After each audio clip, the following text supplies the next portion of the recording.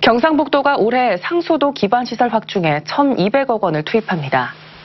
농어촌 생활용수 개발 사업 39곳에 963억 원, 지방상수도 비상공급망 구축 사업 9곳, 119억 원 등을 투입하고 현재 94.1%인 도내 상수도 보급률을 95%까지 높일 계획입니다.